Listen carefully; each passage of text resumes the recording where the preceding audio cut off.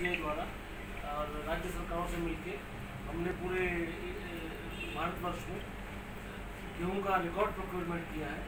ये करीब 433 lakh metric ton हुआ है, जिसमें से जो पिछले वर्ष के रिकॉर्ड से पिछले वर्ष करीब तीन सौ नब्बे लाख मीट्रिक टन ये तो आंकड़े हमारे भारत के हैं।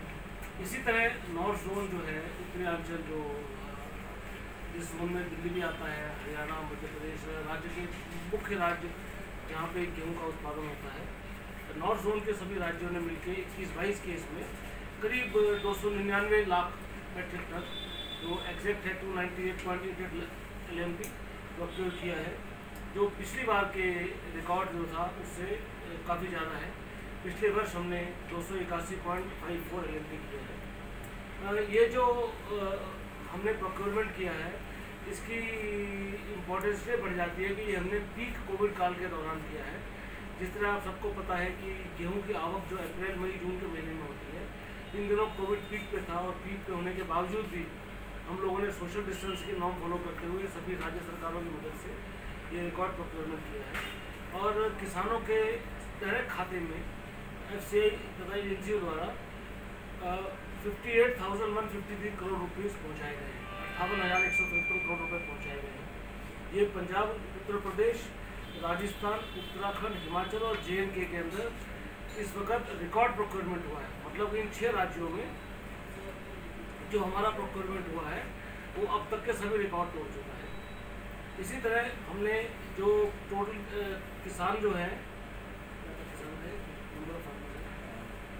लगभग तीस लाख अट्ठावन हज़ार एक सौ पाँच फार्मर्स को हमने ये टोटल पेमेंट जो सर ने बताया अट्ठावन हज़ार एक सौ तिरपन करोड़ रुपए है। डायरेक्ट उनके अकाउंट में हमने बेसिकली पूरे भारतवर्ष में हमने करीब 49.16 लाख किसानों के खाते में पैसा जमा किया जिसमें से नॉर्थ जोन में अड़तीस लाख तीस लाख किसानों के खाते में पैसा दिया गया ये बात इसलिए इम्पोर्टेंट है कि एमएसपी का जो बेनिफिट है, हम चाहते हैं इसका किसान को मिले, इसलिए हमारे द्वारा पैसे सीधे किसान के खाते में ट्रांसफ़र किए जाते हैं।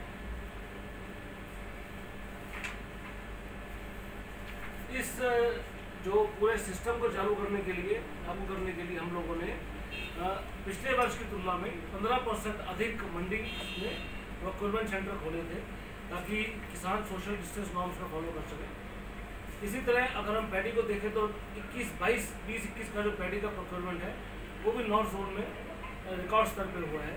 नॉर्थ जोन में 20 21 की के की जो सीज़न है उसके अंदर, तीन सौ पैडी खरीदी गई है, जो लास्ट ईयर के टारगेट से काफ़ी ज़्यादा है। पिछले वर्ष का टारगेट दो सौ तिरानवे पॉइंट छः छः एल था। ये तो हमारा हो गया जो पूरा नॉर्थ जोन में जो स्थिति है हमारी प्रोक्योरमेंट की। इसके अलावा P M G K Y योजना जो भारत सरकार द्वारा लागू की जाती है, इसके तहत पाँच किलो अनाज प्रति व्यक्ति इन सभी राज्यों में उपलब्ध कराया गया है।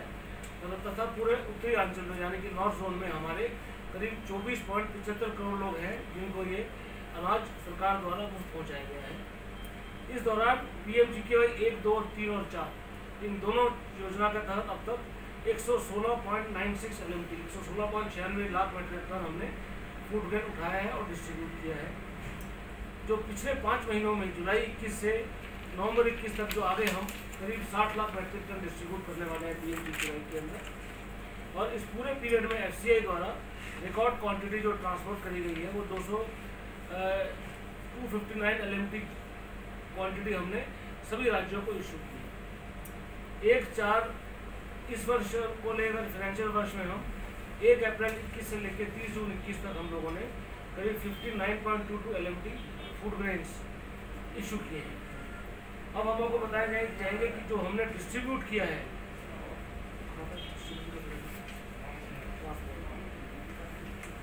ठीक है तो तो जो नॉर्मल पीरियड के अंदर हमारा जो ऑफटेक होता है, वो करीब तेरह पॉइंट आठ लाख एल होता है। तो इस वर्ष हमने बढ़ा के इक्कीस पॉइंट छः एल कर दिया है। कहने का मतलब मैं आपको सबको ये सूचित करना चाहूँगा कि हमने एक तो नॉर्थ जोन रिकॉर्ड प्रोक्योरमेंट किया है, उसके बाद रिकॉर्ड ट्रांसपोर्टेशन किया है देश के राज्यों में, उसके अलावा हमारे एरिया में डिस्ट्रीब्यूट भी किया है। तो हमारे क्षेत्र में जो मेन राज्य आते हैं, पंजाब, हरियाणा, ये मेजर प्रोड्यूसिंग राज्य हैं। उत्तर प्रदेश एक प्रोड्यूसिंग राज्य भी और कंज्यूमिंग राज्य भी है जिसके लिए हमें काफ़ी क्वांटिटी वहाँ से प्रोक्योर करनी पड़ती है तथा बाहर से मूव करनी पड़ती है। तथा मुझे जानते खुशी हो रही है कि ये पूरा का पूरा हमने जो इसको डिस्ट्रीब्यूट कर दिया है। मैं सुप्रीम को रिक्वेस्ट करूँगा कि दिल्ली के आंकड़े दिल्ली के अंदर भी हमने काफ़ी पिछले वर्षों के हिसाब से काफ़ी अच्छी प्रोग्रेस करी। हाँ, मैं सुधीर कुमार बोल रहा हूँ। एक्चुअली पाँच साल के बाद हमारे यहाँ रिकॉर्ड प्रोक्योरमेंट हुआ है। जो कि आप देखेंगे पाँच हज़ार नौ सौ चौवन एम दिल्ली रीजन में, जो कभी हुआ नहीं था, ये भी रिकॉर्ड है। ये हम, ये कोविड का नॉर्म फॉलो करते हुए किए और इसमें जो है ग्यारह करोड़ छिहत्तर लाख डायरेक्ट किसान के खाते में डायरेक्ट उनको पहुँचाया गया है और उसमें 760 फार्मर्स बेनिफिटेड हुए ये बहुत बड़ा अचीवमेंट रहा है और हमारा एम हमेशा की तरह वो बढ़ता रहा उन्नीस सौ उन्नीस सौ पचहत्तर की तरह उनको दिया पैसा दिया हुआ है।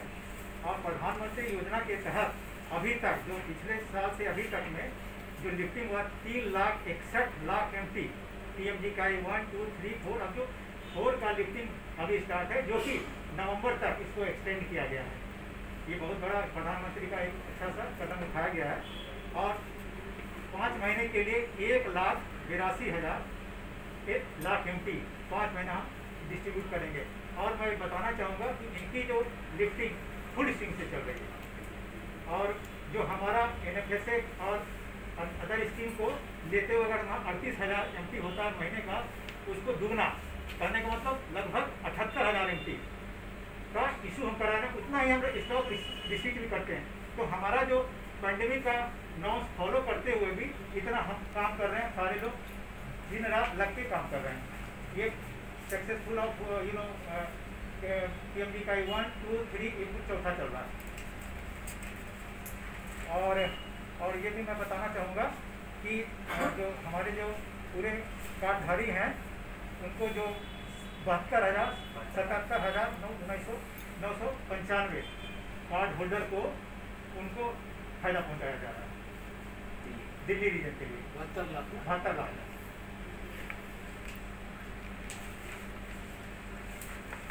सर जो दिल्ली में जो पहले दिल्ली सरकार ने जो टूरिस्ट डिलीवरी वाली जो बात कही थी तो क्या वो मामला शॉर्ट आउट हो गया है आपको? जिसमें कि दिल्ली सरकार कहते थे कि फेयर प्राइस शॉप पे नहीं बल्कि हम घर तक राशन पहुंचाना चाहते हैं। वो, वो उस मामले का क्या है तो क्या वो शॉर्ट आउट हो गया है? ठीक है हमारा जो वो वो मामला मंत्रालय के संज्ञान में है।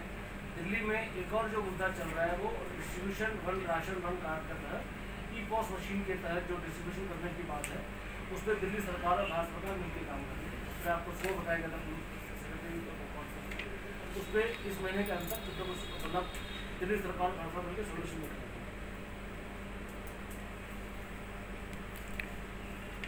नवंबर तक की अवधि है इसको बढ़ाया भी जाएगा सर? डिस्ट्रीब्यूशन फ्री वाली है। अभी तक जो सरकार द्वारा अप्रूव की गई वो नवंबर तक की गई क्योंकि ऐसा होता है कि लॉकडाउन में फ्री वाला लॉकडाउन में दे रहे हैं आपका लॉकडाउन है नहीं। ने नवंबर तक दे दिया तो हो सकता है इसको आगे तक भी अब तक की प्रधानमंत्री की जो योजना है जो हमारे पास उसके साथ है इसको नवंबर तक कोई योजना ला देगी सर जो फ्री राशन होता है क्या पैसे भी ले लेते हैं वेंडर्स जो पी वाले जो है वो कई बार शिकायत आई है कि पैसे ले लेते हैं बेनिफिशरी से। इसी के लिए हम लोगों ने आप लोगों को बुलाया आप लोगों के माध्यम से हम इस बात की पब्लिसिटी करना चाहते हैं ये पीछे पोस्टर देखिए आप हम इस तरह के पोस्टर सभी राशन की दुकान पर लगा रहे हैं और पब्लिसिटी कर रहे हैं, जगह जगह लगा रहे हैं ताकि डिस्टिंक्शन करने के लिए कि एन एफ़ एस ए का जो राशन है, वो गेहूँ दो रुपये किलो और चावल तीन रुपये किलो दिया जाता है।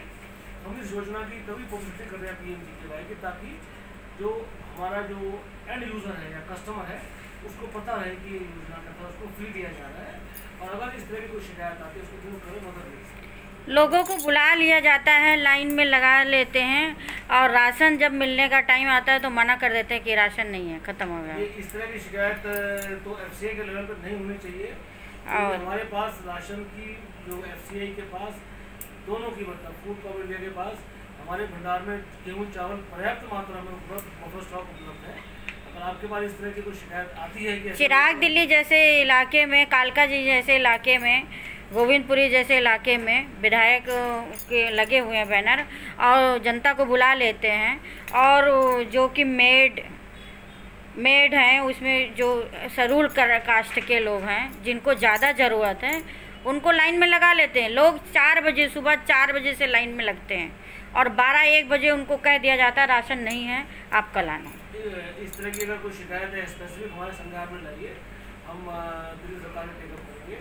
हमारे जो हमारी योजना जो एन एस एस और P M G K Y के तहत इसके तहत तो हमारे पास रिपोर्ट उसका डिस्ट्रीब्यूशन होना है। इसका कोई कंप्लेन नंबर कुछ है अभी दे- हमें दे दिए कंप्लेंट नंबर डेफिनेटली हमारा मंत्रालय का कंप्लेंट नंबर है आपको बता देंगे हम। इससे पहले लेकिन हमें ये स्पेसिफिक शिकायत सरकार से फ़ोन कर देंगे सर आपने कहा कि आपका रिकॉर्ड प्रोक्योरमेंट हुआ।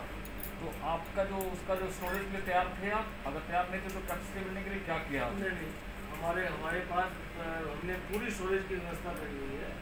हमारे पास पर्याप्त मात्रा में स्टोरेज है एफ़ ने प्रोएक्टिव स्टेप लेते हुए इस बात को इंश्योर किया है कि हमारा जितना भी फ़ूड ग्रेन हमारे पास है उसकी स्टोरेज की समुचित व्यवस्था रहेगी तो कुछ डेटा दे सकते हैं? कितना स्टोरेज कैपेसिटी है आपकी? मतलब पहले कितनी थी और अब कितनी बढ़ी वो डाटा दे देंगे आपको डाटा हमारे पास ठीक अनाज खराब भी बहुत होते हैं नहीं नहीं। जैसे बारिश का सीज़न है आपका बता रहे हैं बम्पर बम्पर आपका हुआ है तो ज़ाहिर सी बात है कि उसकी शायद फैसिलिटीज़ ना रही हो। ये ये एफ़ के बारे में एक या एक बहुत पुरानी धारणा चली आ रही है कि एफ़ का ग्रेड खराब होता है। हमारे पास ऑडिटेड फिगर्स हैं कि हमारे पास जितनी क्वांटिटी हम करीब आज की डेट में हमारे पास 900 लाख मैट्रिक टन का स्टॉक है 900 लाख मैट्रिक टन जिसमें से हमारे पास जो खराब ग्रेन की फ़ूड ग्रेन की मात्रा है सिर्फ़ अठारह सौ एम है जो पॉइंट ज़ीरो ज़ीरो ज़ीरो तीन प्रतिशत है। तो मतलब नेशन वाइड है। दिल्ली का क्या है? दिल्ली का तो बिल्कुल ज़ीरो है। दिल्ली में ज़ीरो है। एक्चुअली दिल्ली दिल्ली जो है मेरे पास अगर 900 लाख टन की मात्रा पूरे हिंदुस्तान में दिल्ली में एक लाख टन स्टोर करता हूँ दो लाख करता हूँ तो हमारे पूरे दिल्ली एक हमारे लिए कंज्यूमिंग पॉपुलेशन है इसलिए इम्पोर्टेंट है।